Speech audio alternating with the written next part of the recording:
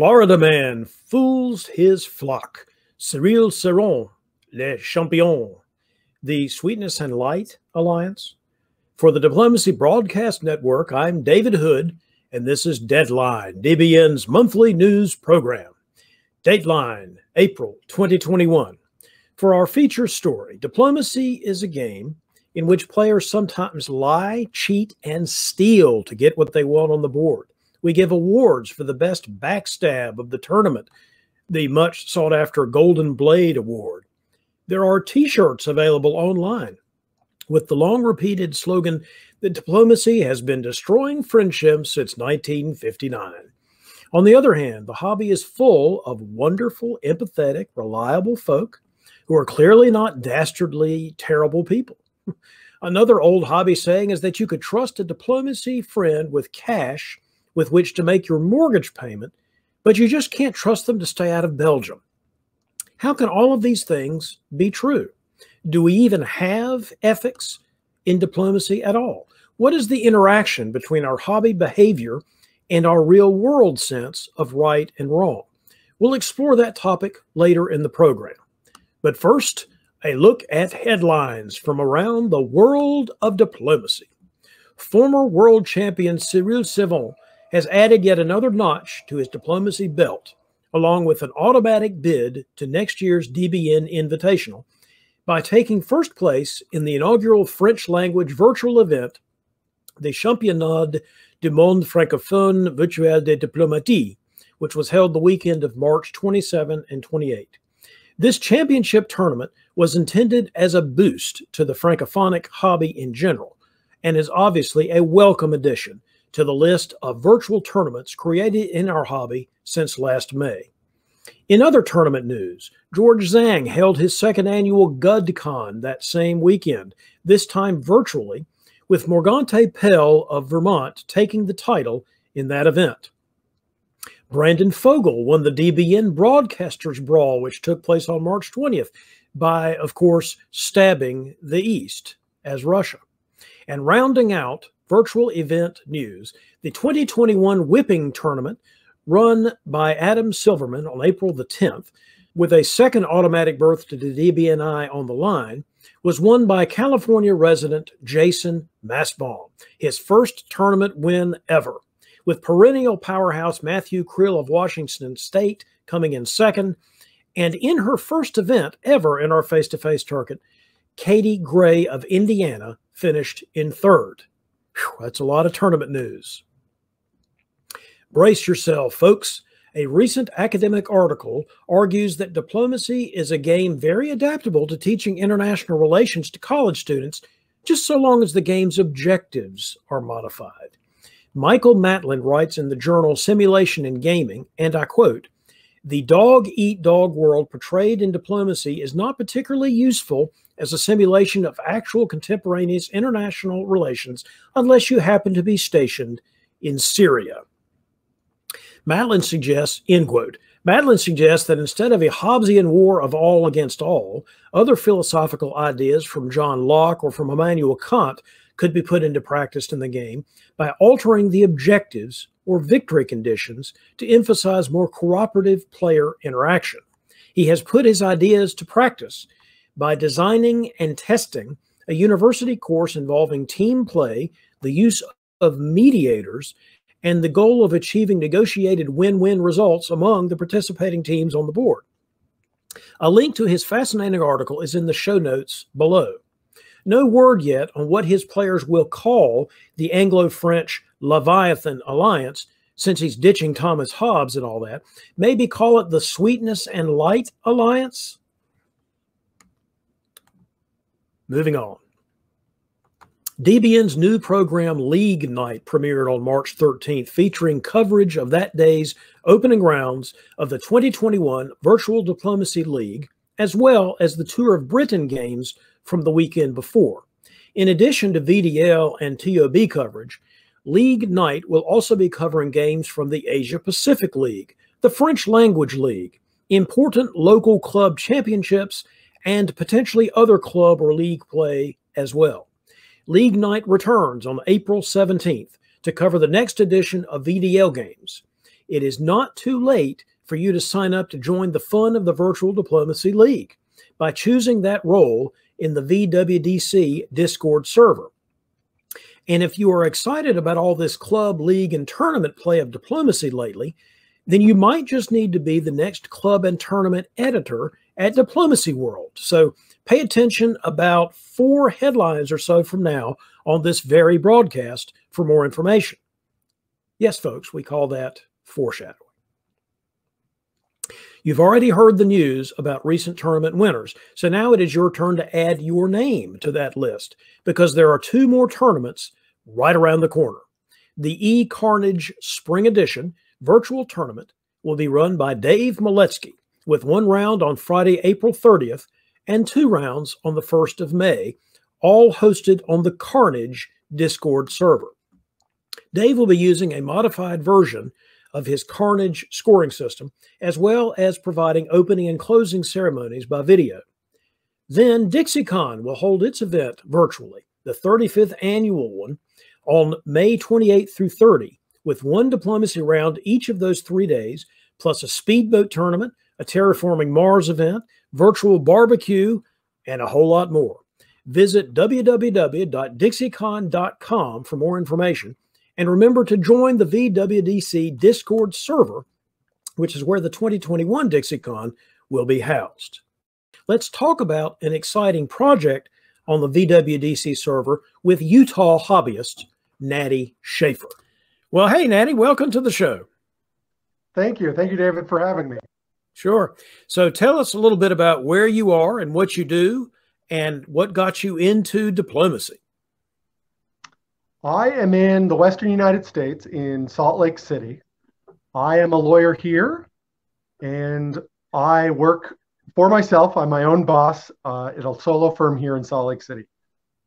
I got into diplomacy probably late high school or early college. My sister in law asked me what I wanted for Christmas, and I named a bunch of board games she had never heard of. So I took her to a board game store and said, here are some titles that I like. I pointed out some uh, Avalon Hill games. I don't think they're made anymore, but that was what I was interested in at the time. And the clerk there overheard us talking and he heard a bit about what I like and he asked if I had ever played diplomacy. And I said, no, I haven't played that one. And he raved about it. He loved it. So I decided to give it a try. I bought it for myself because I didn't end up getting it for Christmas and put together a little group with some friends. We probably played four or five games, but we had the hardest time getting exactly seven people to play. So I was really interested in it. Not all my friends were. So I started looking for online sources and I found a few and I played it off and on, but they weren't always that reliable to play online. People frequently dropped out and I found that frustrating. So sometimes I gave it up and then I'd come back to it. But in law school, I decided to give it up entirely. I wanted to take my law school studies seriously. So for a few years there, I didn't play at all. And then last year, one of my friends from college wrote me an email in March and said he was putting together a diplomacy game, would I like to play? Well, unfortunately, he sent it to a really old email account, one of mine that I hadn't used really since college. So I didn't get it for about two months, and I didn't get to join that game, but I got to join the next game, and I remembered how much I loved it. And so I immediately started looking for other sources to play. And I was mostly playing online only with complete strangers on Backstabber. But somehow Bill Hackenbracht found me and wanted me to play in Liberty Cup. And so I signed up for Liberty Cup and I did well enough that I was happy with my result. And I've been playing in tournaments since last August pretty regularly. So we have Bill Hackenbracht to blame for Natty Shafer being in the hobby, which uh, I wish you, I wish I could say you're unique on that, but you're not. He's been doing a lot of evangelizing in the last 12 months. It seems that way. He seems to look for people everywhere, and that's where he found me. Well, we're we're we're glad to have you. I, I, speak for I think everybody who's ever played with you, dealt with you. We're glad to have you. So, thank you.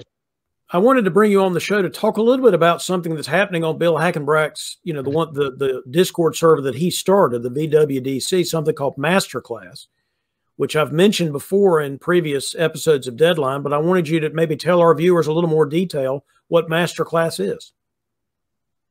So Masterclass is a way for intermediate and possibly beginner players to interact with someone who is a master at the game of diplomacy.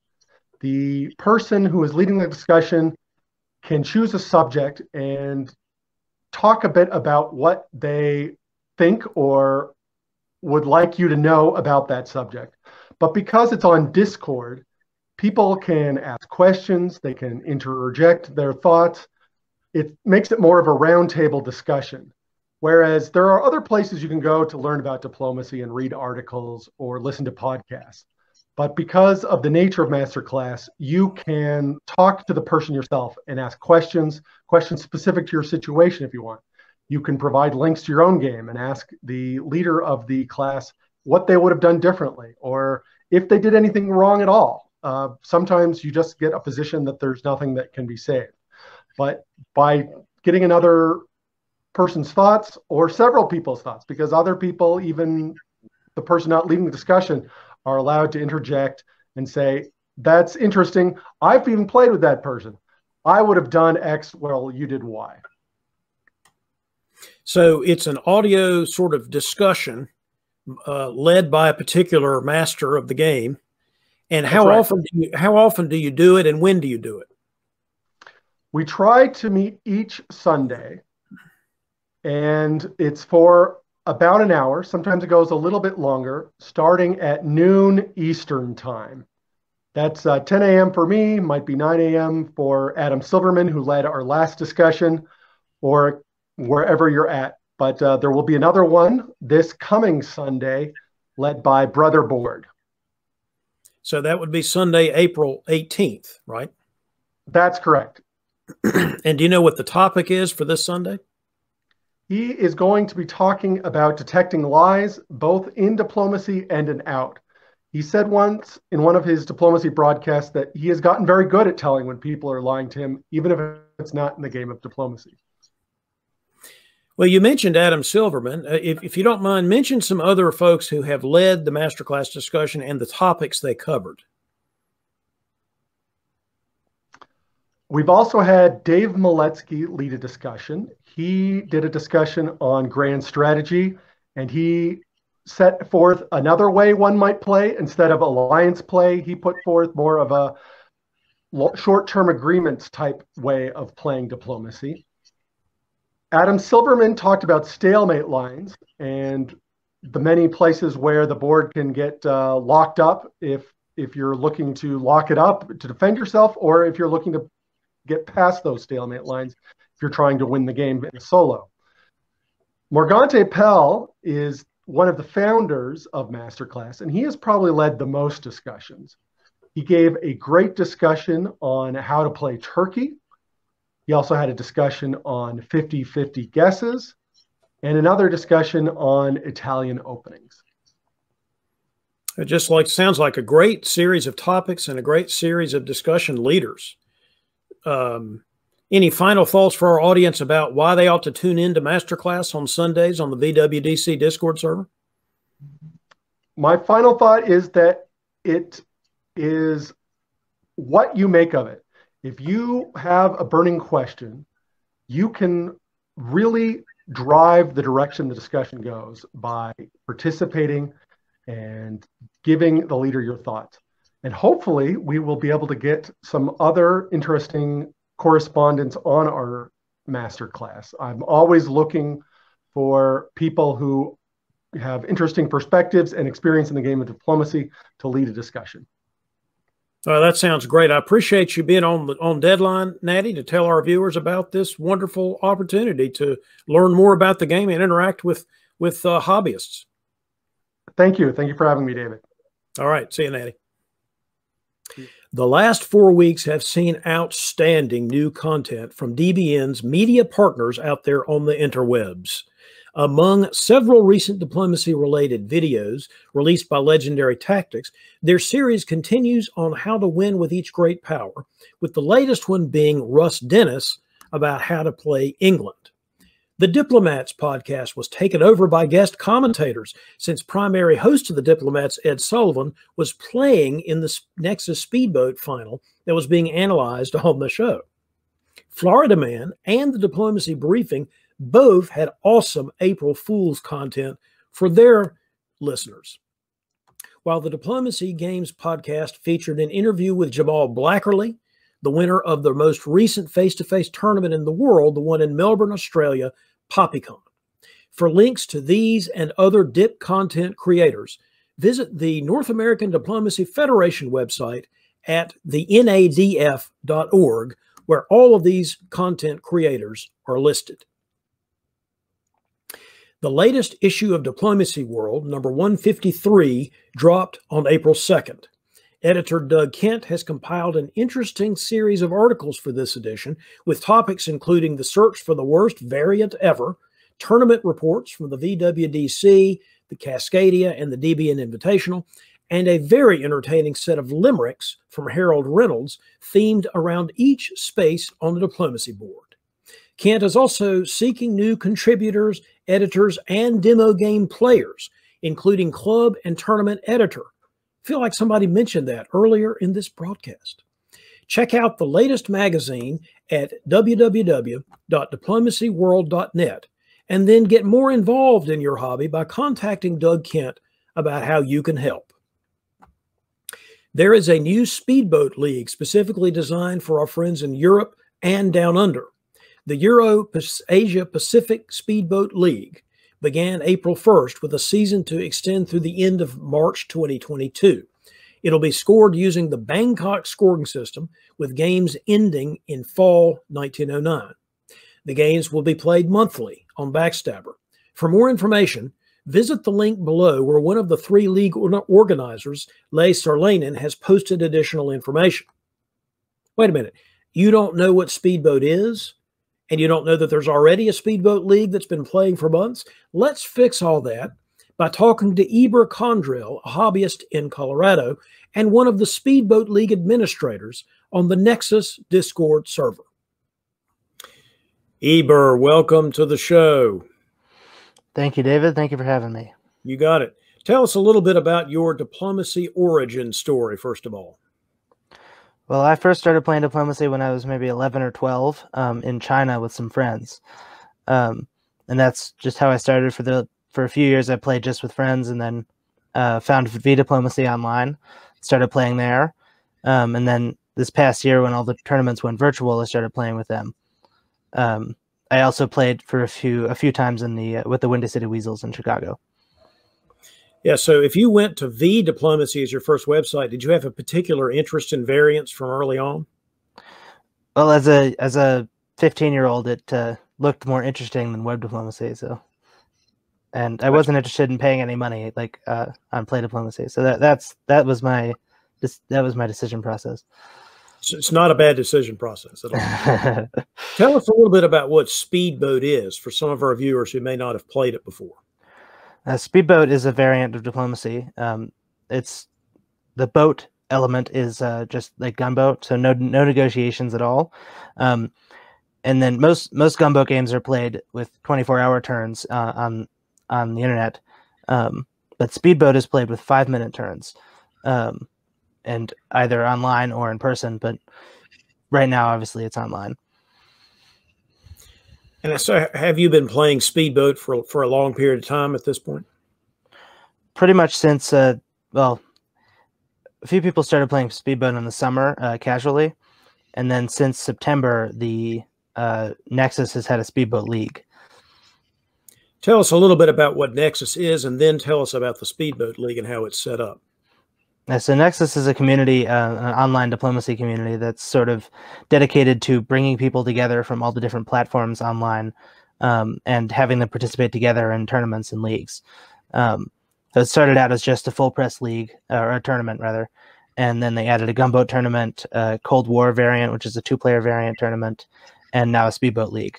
Um, so it's mainly around uh, the main purpose of Nexus is to get as many people together as possible and sort of help people branch out into maybe places that aren't their comfort zone, like other websites they're not used to using. Well, tell us how the Speedboat League itself is set up. It looks to me like there are seasons that are basically a couple of months worth of seasons, and then you've got a top board or a final. So tell us just a little bit about about the setup.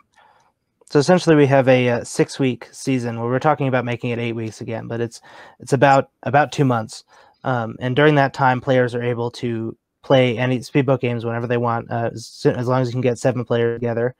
Um, those games will be scored under mind the gap scoring, um, and then who the top seven players from the duration of the league uh, will participate in a top board.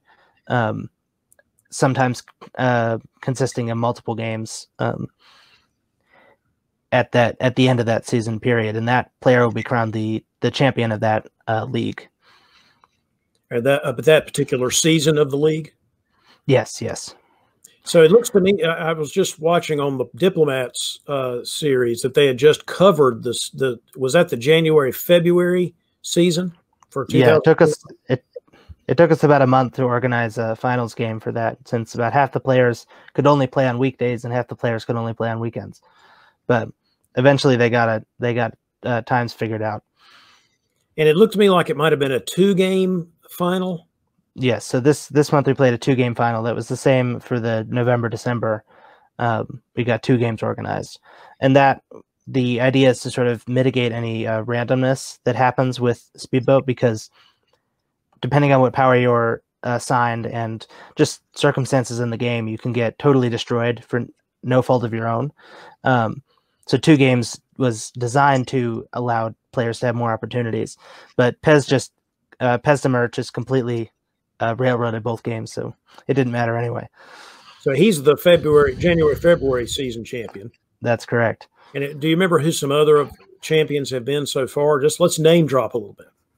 Um, December, November, excuse me, November, December champion was uh, EVR, Estacio really. I don't know how to pronounce his name. Um, you you know a lot about that, uh, I do. Um, and then September, a, October was a quiz, not a memory quiz. So yeah, there's a chap named Borgigan. Oh yeah, but um, that's those those are a few of the champions so far. Well, if somebody's watching this and wants to be involved in Speedboat, um, how do they do that? Well, you just have to hop over to the Nexus Discord server. Um, once you get there, you can go to a channel called Roles and select the Speedboat role, which will allow you to see all the Speedboat categories uh, or all the Speedboat channels. Um, from there you can uh, join games whenever they happen. Uh, it's a first come first serve basis, and joining games on Backstabber. Um, people that don't worry if you if you select the speedboat role, you get a lot of uh, at speedboater pings. Pretty much, I don't know, a dozen a day, and sometimes.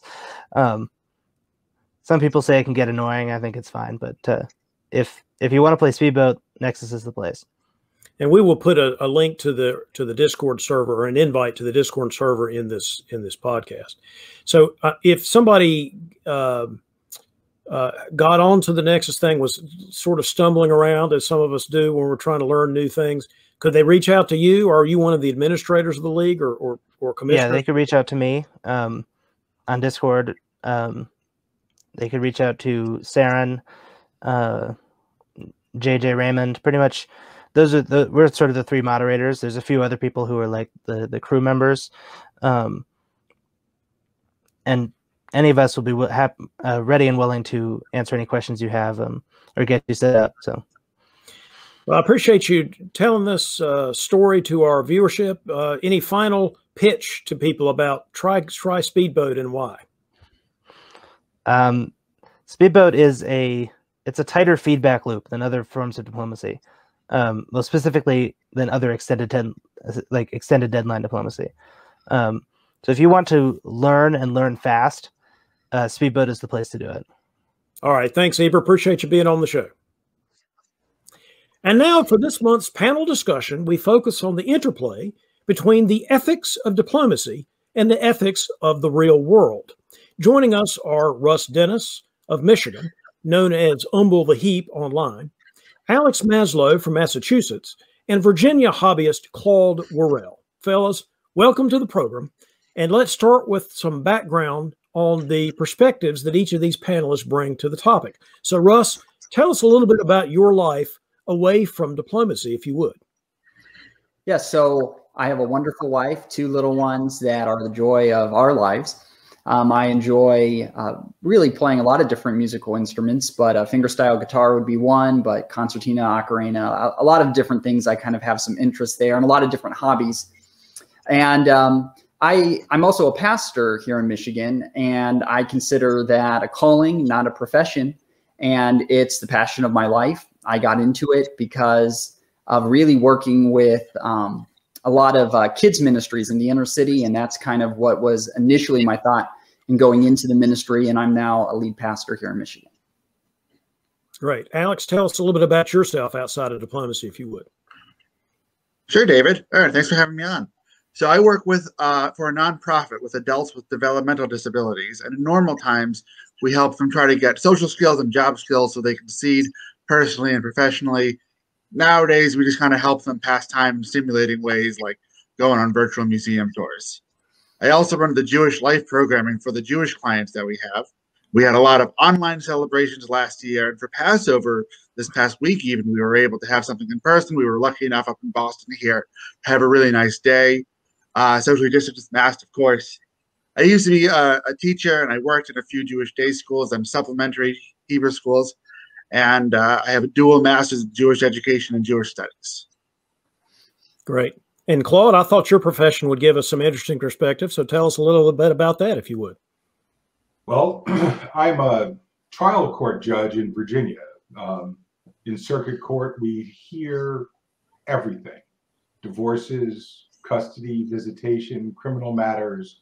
We hear civil disputes between landlord, tenants, medical malpractice anything you can put in front of a jury, we do. Um, before that, I spent 24, 25 years practicing law in Charlottesville, Virginia, um, and was a prosecutor for most of that time, um, representing the Commonwealth, Commonwealth's Attorney's Office and prosecuting murder, rape, and robbery and things like that. Um, and so uh, you've got a lot of um, general experience also in the ethical realm because I spent four years in assistant bar counsel prosecuting lawyers for violating the rules of professional conduct. I appreciate all that background, but most importantly, you all three of you are diplomacy people, which is why you're on this TV. Uh, why you're on this TV show. So, following up on that, Claude, uh, obviously, as a judge and a lawyer, you have ethical rules, and you just described that in one of your other jobs. You have ethical rules and traditions which inform both your behavior and those of the folks that appear before you. Do you think diplomacy has any such ethical constraints given the nature of the game? You know, I don't really believe that it does. I think diplomacy is a world unto itself with the rules and conventions that exist amongst people that play a lot. For example, um, I play with a group of guys up in DC from time to time, and there's a way in which that game is approached and the um, uh, the straightforwardness of negotiations in that game. There have been times at DixieCon, for example, where in the first two minutes of uh, diplomacy negotiations, I was lied to by every player on the board for a variety of reasons and for a variety of purposes. And then they got mad at me because, as it turned out, I didn't lie to them right away. Um, and so diplomacy is a little bit different. Those of us involved in law, at least for me, we have very strict rules about telling the truth and being honest and you know forthright, especially in front of a judge and in front of a jury of peers that you want to do something. It's really important that you can that you um, sort of demonstrate your credibility at all times and are trusted at all times as somebody who's going to tell the truth no matter whether or not it hurts you or helps you. And diplomacy isn't always that way. There are times in diplomacy when you are um, forced um, based on the circumstances of the board and the circumstances of your relationships that exist only within the context of the board and those relationships to say things you wouldn't ordinarily say in real life. And diplomacy life is therefore just a bit different. Russ, how about you? What do you see as a way to reconcile the behaviors that people do in a dip game and the behaviors that we think of in the Christian tradition that we think of as, as good behavior? Well, there is a lot of tension there. You know, Christians are called to love their neighbors as their self. Uh, they're called to even love their enemies. They're called to be truthful, to not tell lies or deceive. And so um, there is tension. And I know sometimes um, people can easily compartmentalize it, but um, it, it, it can be difficult. Diplomacy, by its very nature, breeds conflict. Now, uh, that's not unusual for a game. I mean, there's, for instance, risk. Your your goal is to take over the entire world, so uh, you're going to attack everybody. People know that. Uh, you know, Monopoly. The the point of Monopoly is to bankrupt everyone. So uh, there's lots of games that are zero sum in the sense that if you do well, someone's going to do worse. But what makes diplomacy so difficult is that it can get so personal. You know, you build alliances, and at the end of the day, the end goal is to solo. That's that's how the creator Allan Calhamer made the game. And there's not very many ways to solo without attacking your ally. Um, there's, I suppose, in, in, maybe a way to do it, but generally speaking, if you're going to solo, that's what you have to do. And no one likes betrayal.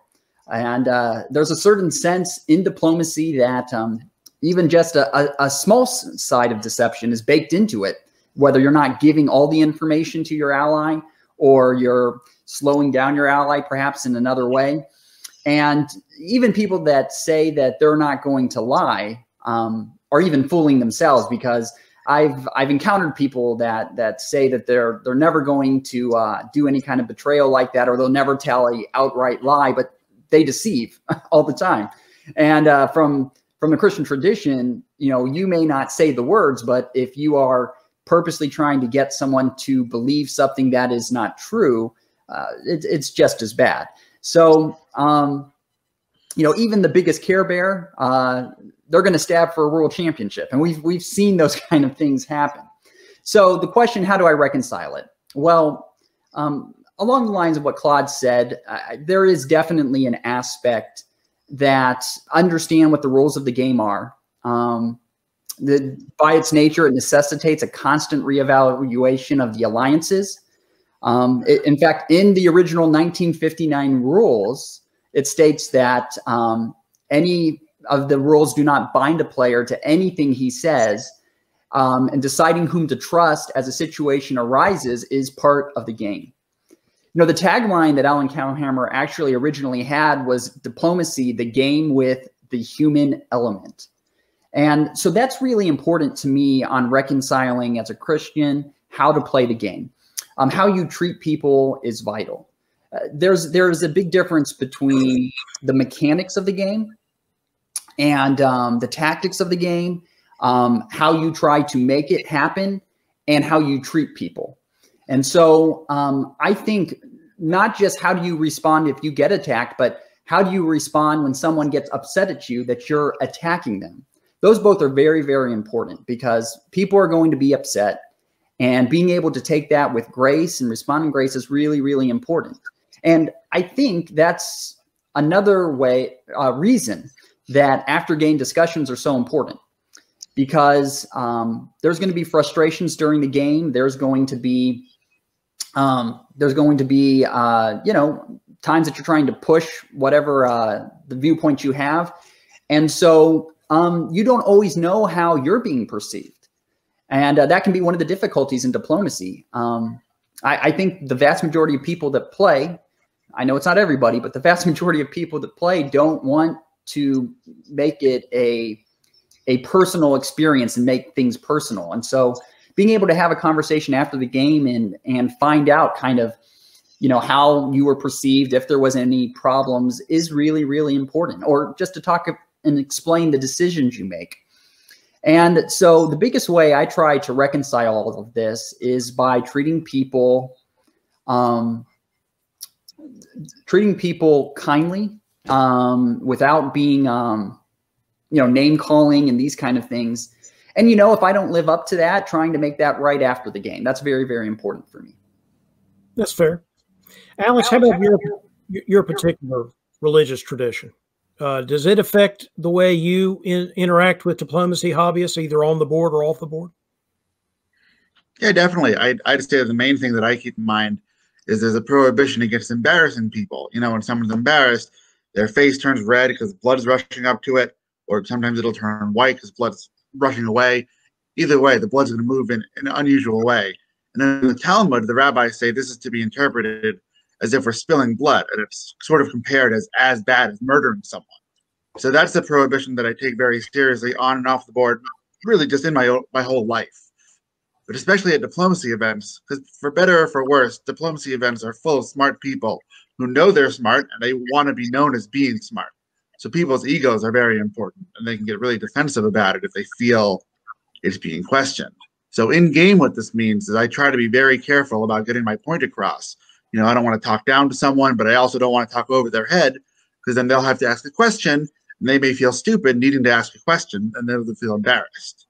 So let's say that I want to make a Western triple with two people and I'll assume that they know what it is and how to play it, unless for some reason I specifically know that, you know, one of the players is very new.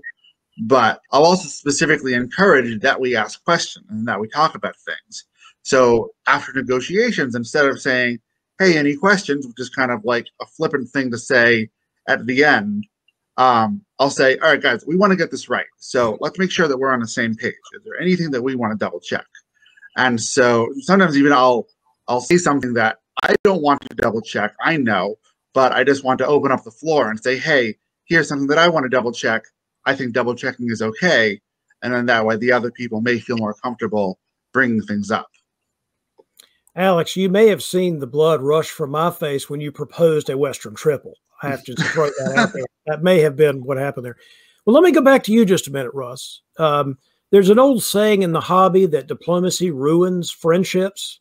Is the nature of this game inherently anti ethical or in any other way harmful to our humanity, do you think? And if so, what could we do about it? Well, I think one of the fundamental questions to to deal with that is why do you play diplomacy? Because that's going to dictate a lot how you interact with people. You know, as Alex was saying, ego it can be a very big part of the game. And if you're playing purely for ego to show that you're smarter or better or more talented than other people, then that human element, um, that aspect of humanity is is going to be it's only going to matter to you in so much as it gets you the win. And so, you know, like personally, like I really enjoy diplomacy because of the unique challenges that it has. And um, also because of the personalities that it attracts. But um, one of the things about diplomacy, and when you're speaking about ethics and all that too, is um, the fact that too, diplomacy teaches you, I think, a lot about yourself and just to be transparent and kind of tell a story from uh, from my own life with diplomacy, uh, a few years ago, I was uh, playing in the Nexus Finals, and it was the second season. And for those that are familiar with it, Nexus is a place where um, people from a lot of different online platforms come together and they do a tournament. They do two of them a year, and you usually play about three months, and then you the top seven get into the finals. There's usually about uh, anywhere at least during those times, there was about 100 players. And so it's, it, I'd played three games to get in. They were three games that, um, you know, took a lot of time, a lot of writing. And so we get into the finals, and of course, everybody really wants to win. We're all very competitive. Um, we're all spending too much time writing. And the game was time limited. 1910 was when it ended. And I think we were probably about 1906, 1907. I was Turkey. And the English player was requesting my help into Moscow. And I was kind of going back and forth, and I finally decided to do it. And the English player, um, he, uh, you know, made, of course, all kinds of promises about, you know, what the end game was going to mean, and you know how grateful he would be. And the next turn, he collapsed my position. he, supported Austria against me, and in the and, and it didn't help him. It actually set Austria up to eventually win that game, and, and he did that. And in the time limited amount with with the moves that happened, you know, I, I realized at that moment that I wasn't going to be able to win. And with all that time I put in, not just getting there, but in that final itself, um, it felt terrible. It was a huge letdown. And I remember be, wanting him to feel as bad as I felt in that moment. And uh, so I didn't, you know, call him names. I didn't, uh, you know, cuss him out or anything, but um, I laid the guilt on him. And uh, he definitely did feel guilty. And, uh, you know, eventually then, of course, uh, that just devolves into, you know, of course, uh, then him getting upset with me, which is rightfully so. And when that game came to an end, I remember thinking to myself, you know, that's something that I don't I don't ever that's not the person I want to be. I don't want to want to make somebody feel bad regardless of what happens on the board. And um, you know, the great thing about it is that player, um, which many people will know um, now is uh, at, because he's in the virtual scene, is Ed Sullivan. But um, we didn't just become good diplomacy friends coming out of that. Um, he's a good friend. And so that's one of the things I think that sometimes is missed about diplomacy is that for the people that enjoy this game, diplomacy can be a great place to make friends. And you know, if you click with someone and that friendship continues after you clear the blood from the board, you know, you've found a friend for life. And so I don't think it's harmful to humanity. Um, it's just important that you have the right people that can enjoy the game, enjoy the challenges of the game, and also are there to make sure that it's you want other people to have a good time too. Yeah, that's that's exactly right. Claude, let, let me go to you on, on that point for a minute. He's talking about behaviors that people, in fact, he said he had a piece of behavior that he would like to have changed and he uh, sort of atoned for later. Do you ever see behavior in diplomacy, either in the game or in the hobby, that if those folks were in your courtroom, you'd have blown the whistle on them and said, no, you can't do that. You can't act like that. The times I see those kinds of things are in relatively tense positions on the board, and one player starts yelling or screaming at another um, and trying to bully them into or make them feel small or take advantage of them in some way, shape, or form there are some folks that are playing diplomacy, and I think I'm one of those people that approach the game as its only business, it's only this game, that this isn't personal, that they haven't lied to me, they haven't stabbed me in the back because they dislike me particularly. Um, but that um, it's just in the context of this game, this particular game on this particular board, this is the way it worked out. I think that there are certain people that are willing to play bad positions out. If you look at the list of people at DixieCon or some of the other where they give the award away for death with, with dignity, you find that those are the people that are going to be able to navigate the world of diplomacy as much as they want to win and as much as they want to compete and much as they want to be at the top of the board are willing to accept what's happening um, at face value and not project something else into it. But there are certain players that really try to impose their will upon not only another player on the board, but the whole board itself and sort of wreck the experience for everyone. And those kinds of folks often make me think that somebody needs to get hauled away for contempt of court and spend 10 days in jail because they just have lost the spirit of this process.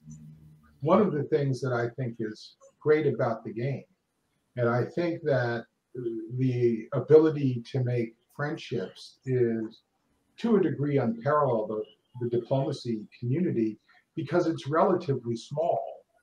If you've traveled to DixieCon, for example, and before we get, began, David made a point about saying that there are certain local people that come to DixieCon. Well, there's a certain crew of guys that come to play at DixieCon and one or two women that I love to see every year. It's the only place I really get to spend time with them. They're interesting, they're funny, they're caring people in general away from the diplomacy board, perfectly lovely human beings. Um, and the community is too small to really um, uh, go too far overboard because what happens then, I think, is nobody wants to play with you. Nobody wants to be your ally, no matter whether it's advantageous to them or not.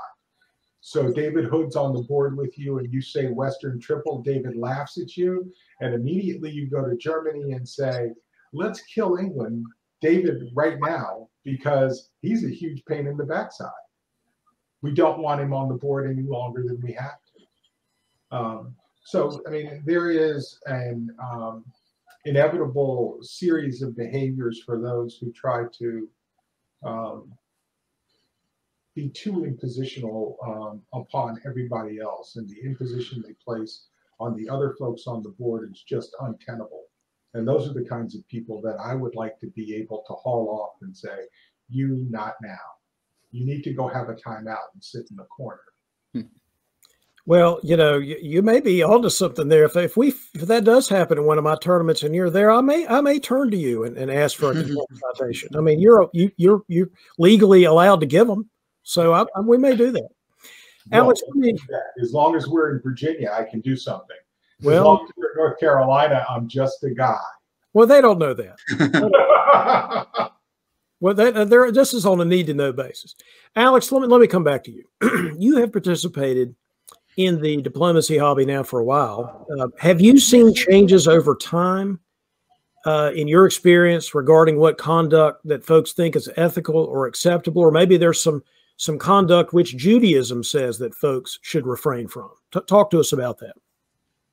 So I'm not really sure if it's just because I'm older and have gotten a bit chiller and have kind of figured out how to manage my ego in terms of diplomacy. Because I remember when I started, things felt. I started when I. I mean, I started when I was 13 or 14 is when I learned diplomacy, and then around 20, 21, 22 is when I started uh, tournament diplomacy, and I think anyone who's been 21, 22, uh, and then isn't realizes that the things they did at 21, 22 and the thing that they cared about, not always the best thing. So I don't know if it's because I'm a bit older now or because the, the, the people who were making tr- trouble are older now, but obviously now they're new, younger people. But I think, especially, things have gotten better, is, is sort of where what I'm driving at. From what I remember, at least, it was much harsher, much more visceral. It could get personal and uh, cruel kind of more often. And things that I've heard from before my time of uh, not really personal issues, but like the tricks that were used in the old postal games seem ludicrously uh, out of line now. And so I think that there is an element of people are a bit more mindful of what is uh, not mindful of what is right and what is wrong, but they are they have a more wholesome and a more all-encompassing idea of what is right and what is wrong. And while I think that most of us seem to agree from what we've been saying, that diplomacy sometimes can be kind of a world unto itself, there are a lot of newer players who have the view that everything is interconnected, and because of that, we should be extra, you know, nice in this game that not not nice. Hang on. That we should be extra mindful in this game of how we treat people because it's such an intense experience and, be, and can be such an emotional thing. There's a really great story in the Talmud about these four rabbis who are arguing. It's one against three. And in rabbinic ar- arguments, majority rules. But this one guy is really, really sure, and he keeps on going on and on. And at some point, God God's self comes down and says, This one rabbi is actually right. Three of you are wrong. And uh, the three rabbis basically say, Okay, now it's two against three. We still win. The, the, the lesson being that people lead Judaism. And for us, the lesson being that, that the people in the community get to make the rules. That um, we can talk about what is actually ethical and what we think is the right way to do things, but ultimately, the people in the community a need to agree on those things, whether explicitly or implicitly. A lot of tournaments uh, recently have started having you know codes of conduct and really spelling things out. But even without those, there's sort of you know we all would agree you can't punch someone, you can't actually stab someone with a knife. That's always supposed to be a metaphor. which sounds kind of ludicrous to say out loud, but these are things that in the rules don't actually exist in the old Allan Calhamer rules that Russ was referring to earlier. And so I think that it's really important that we take uh, that we let the community lead things, and that that means things are going to change, and that occasionally they're going to be some kind of growing pains, but trying to swing in with rules is going to have less success rather than having the community drive it. And part of that means that it's going to change. But Judaism really thrives on innovation. And I think that the diplomacy hobby has been doing that and should continue to do that. Which may be the first and maybe last time that Judaism and diplomacy are ever linked together in that direct of a fashion.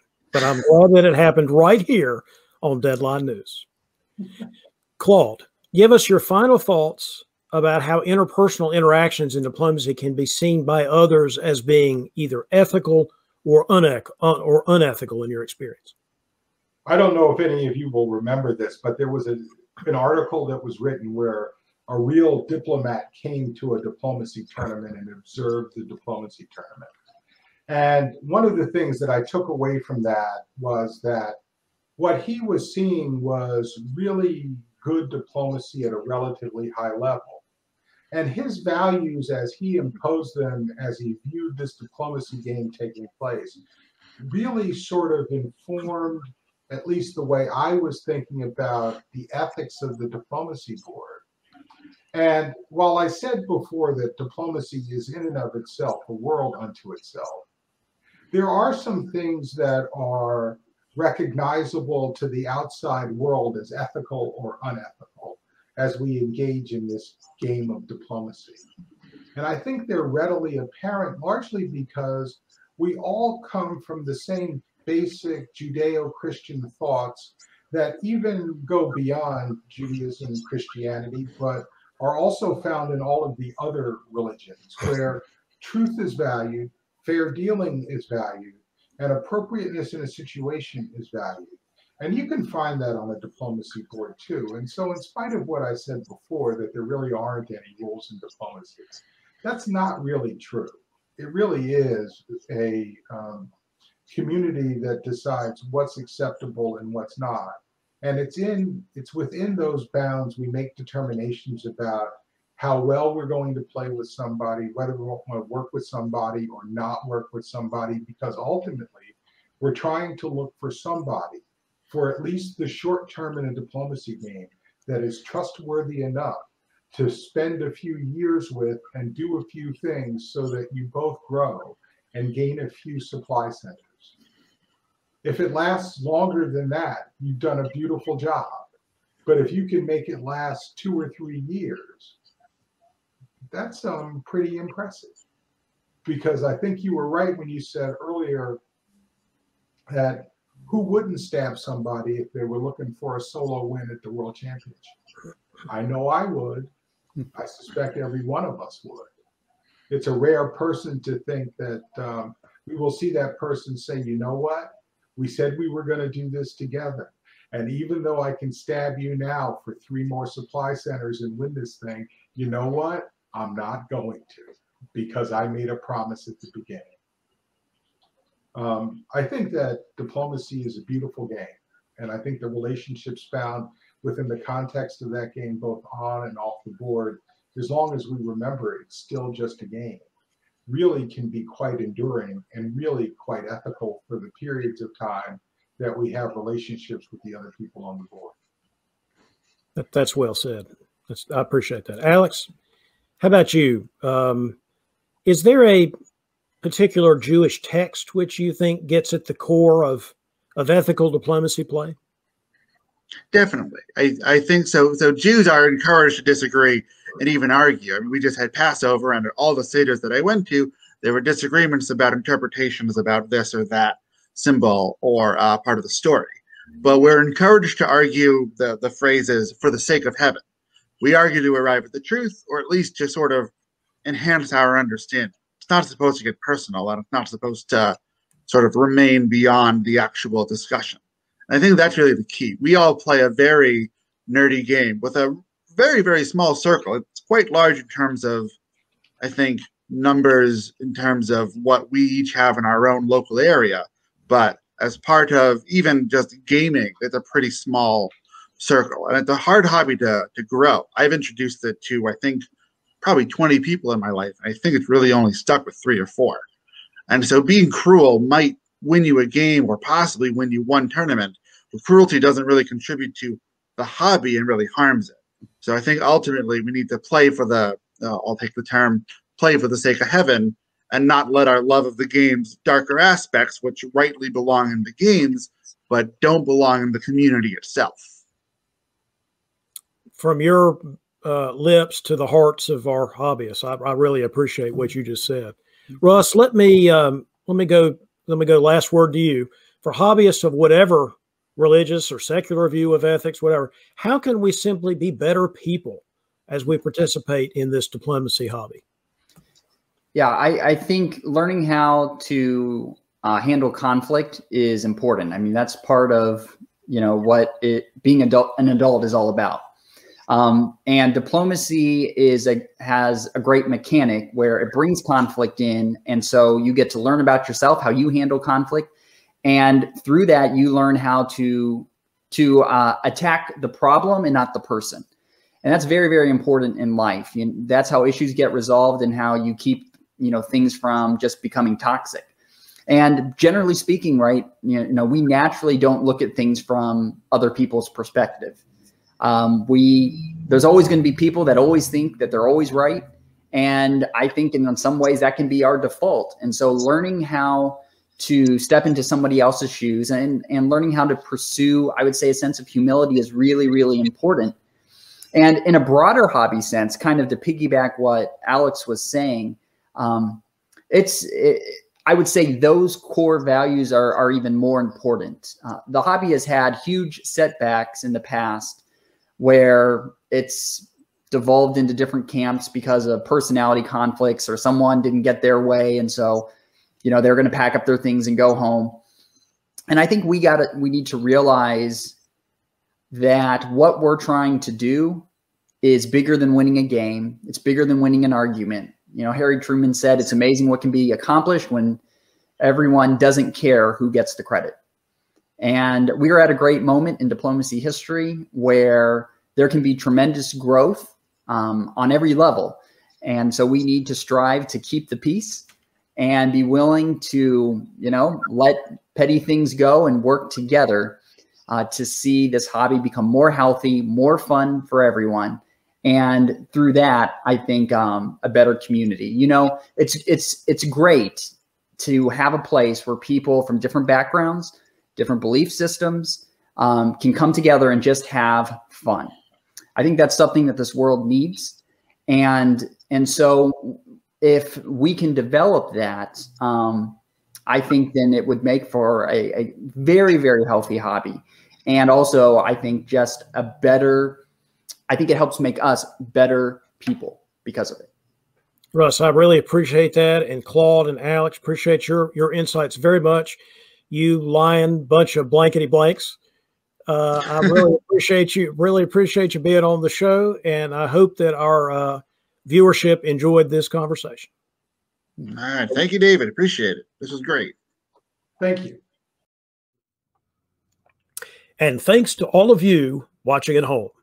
We hope you have enjoyed this broadcast of Deadline. If you have news, ideas for features, or feedback of any kind, please feel free to send an email to info at diplobn.com, or you can drop me a line directly using David Hood at dixiecon.com.